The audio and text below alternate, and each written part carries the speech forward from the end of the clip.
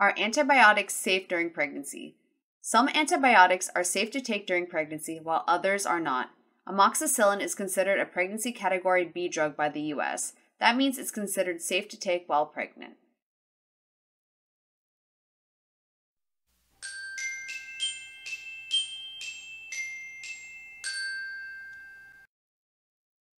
Can antibiotics harm an unborn baby?